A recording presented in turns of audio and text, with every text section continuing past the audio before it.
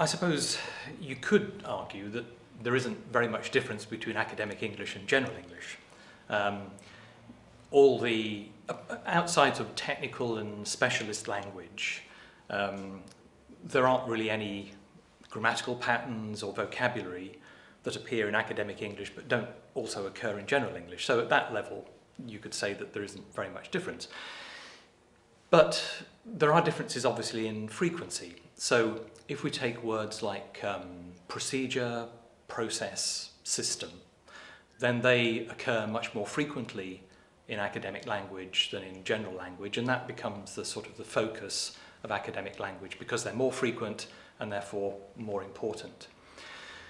Um, if you look at it another way though, we could say that academic English is quite different from general English because there are certain there are certain contexts, there are certain texts that are special to, to academic communication. So lectures, seminars occur in academic life, but not so much outside.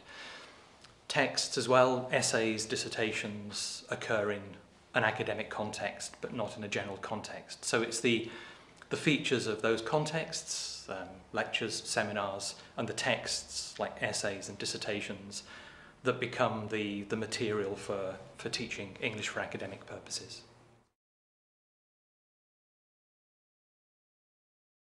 I mean, if you think about skills for um, EAP, um, I suppose you could say that the most important skill is, is writing because that's where most of the, the assessment is of, of, of students' work. But obviously a lot of other skills go into being able to, to write successfully, reading, listening, interacting with tutors and, and fellow students as well.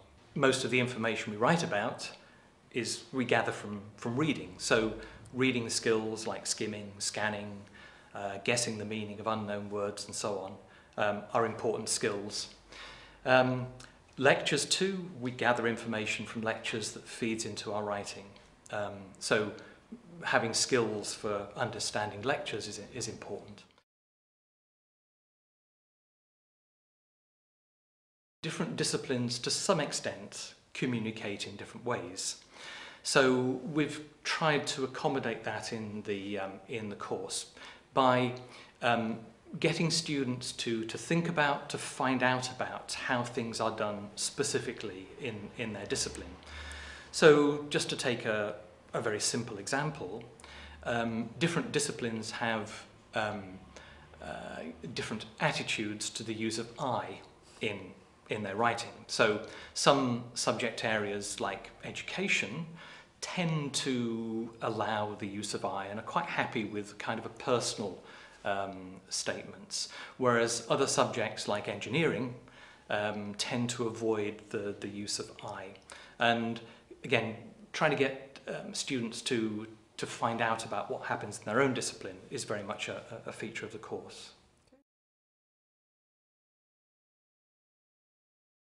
We've tried to, to make it uh, an integrated skills uh, approach. So it's looking at uh, you know, reading, writing, speaking, listening, um, looking at academic culture, working in a, an academic environment. Whereas a lot of other um, previous material has tended to focus on one skill, so writing or reading and so on. Another thing that to some extent differentiates the material from what's come before is, is authenticity. Um, and, and we've very much tried to um, make as much of the material as possible authentic. So there are authentic lectures, uh, the reading texts um, are, are authentic.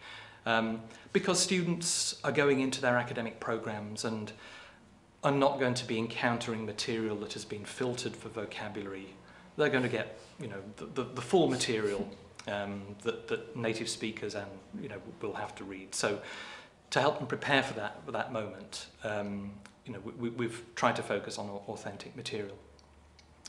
The other thing that we've we've tried to do is to um, consider um, current thinking in research um, and uh, have tried to reflect uh, this current uh, thinking in, in the material. So um, areas like uh, genre analysis and phraseology and the sort of the academic socialization um, for, for students to become members of a, an academic uh, community.